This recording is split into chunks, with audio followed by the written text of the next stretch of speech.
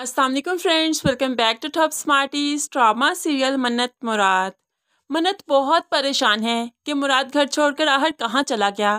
तभी निग्गी बताने लगी कि वो आपकी वजह से घर छोड़कर गए हैं। अब तो मन्नत हैरान हो गई मेरी वजह से, लेकिन मैं तो घर पर ही नहीं थी।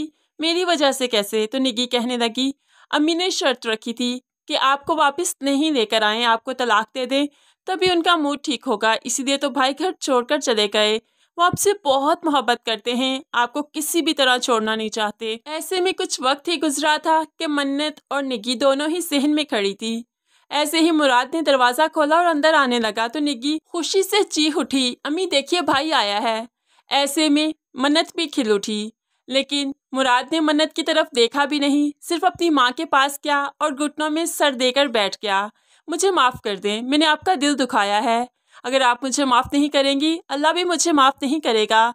मैं आपका दिल दुखाना नहीं चाहता था। अब तो माँ के ड्रामे शुरू हो गए, दिल दुखाया नहीं है। उक्का मुक्का तोड़ ही दिया है। तुमने मेरा बहुत दिल तोड़ा है, तुम्हें कभी माफ़ नहीं करूँगी। लेकिन मुराद माँ के पैरों को हाथ लगाते हुए माफ़ी माँगता है तो माँ माफ़ कर ही देती है। जिस पर अब मन्नत को बहुत गुस्साया कि मेरी तरफ़ तो नोटिस ही नहीं किया। इसलिए तो मन्नत गुस्से से अपने कमरे में आ जाती है। यहाँ पर आकर घंटों वो मुराद का इंतज़ार करती रही। मुराद कहीं रात गए को कमरे में आया और आकर उसका हाल चाल पूछने लगा। तो मन्नत भी अपना एटीट्यूड दिखाने लगी, ठीक हूँ मैं। यहाँ पर मुराद फिर सॉरी भी करता है। तो मन्नत कहने लगी, मुझे ऐसा सॉरी नहीं चाहिए। मेरे भी कदमों में बैठो। फिर माफ़ी मांगो, फिर माफ़ करूँगी, जैसे नीचे तुम अपनी माँ के साथ कर रहे थे। तो मुराद को बहुत गुस्सा आया, भला मैं तुम्हारे कदमों में क्यों बैठूँगा? वो तो मेरी माँ है और तुम मेरी बीवी हो। तो मन्नत रोते हुए कहने लगी, तुम वहाँ से गुजरे, तुमने मुझे देखा तक नहीं, तुमने मेरी इंसर्ट की है। क्या मेरे पैरों में बैठकर माफ़ी मांगने से तुम्हारी मजाजियत को फ़र्क पड़ेगा?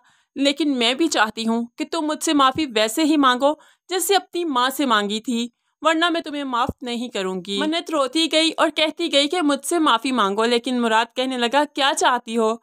तो मन्नत कहने लगी, इज़्ज़त चाहती हूँ। मैं भी चाहती हूँ मुझे इज़्ज़त मिले, जैसे तुम अपनी माँ को देती हो, बहन को देती हो। तो मुराद मन्नत का हाथ पकड़ते हुए अपने दिल पर रखता है और कहने लगा, तुम्हारा मकाम यहाँ पर है, तुम्हारी इज़्ज़त यहाँ से करता हूँ। तो मन्नत झटक कर अपना हाथ पीछे हटा लेती है और कहने लगी, यहाँ से नहीं चाहिए, मुझे सबके सामने इज़्ज़त चाहिए, जैसे सबको देते हो।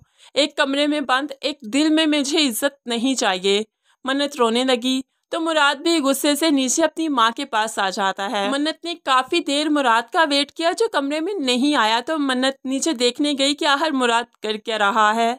तो वो तो माँ की चारपाई पे पड़ा था और माँ उसका सर दुबा रही थी और ऐसे में मन्नत को देखकर नज़रों ही नज़रों में इतराने लगी कि देखा आहर कर जीत ममता की हो गई। अब यही सब बातें हैं कि जो मन्नत को मजबूर कर रही हैं कि वो मुराद से अलहदगी ले ले।